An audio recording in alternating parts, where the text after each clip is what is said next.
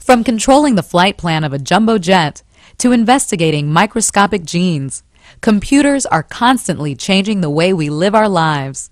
And computer and information scientists who conduct research are on the leading edge of these changes. Working in offices or laboratories, they are like explorers searching for new ways to use computers to meet needs. This work requires a great deal of knowledge about both computer theory and application.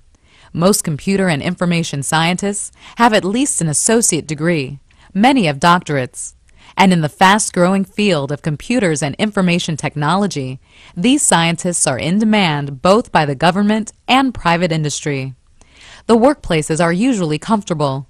However, back discomfort, hand and wrist problems, as well as eye strain can occur over time due to sitting for long periods at keyboards and computer screens.